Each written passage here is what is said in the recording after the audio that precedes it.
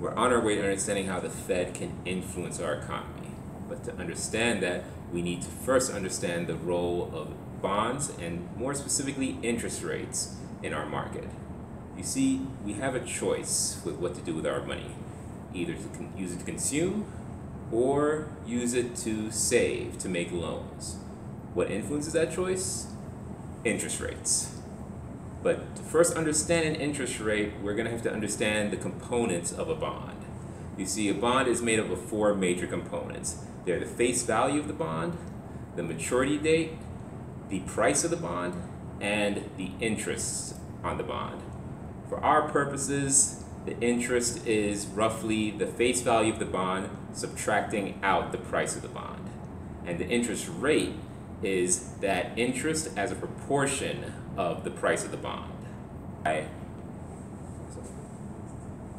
That's why, as a bond's price increases, its interest rate decreases.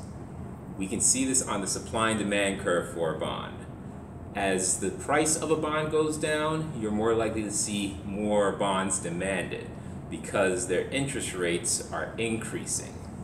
As the price of a bond goes down, though, you're less likely to see as many bonds supplied on the market because higher interest rates are deterrent for people who want to borrow money. Higher price means lower yield. And lower yield is good for the people who are borrowing, but not good for the folks who want to supply the borrowed money. So, changing the supply of bonds, like the Federal Reserve does with open market operations, changes the interest rate, which has an impact on our aggregate demand and on our wider economy.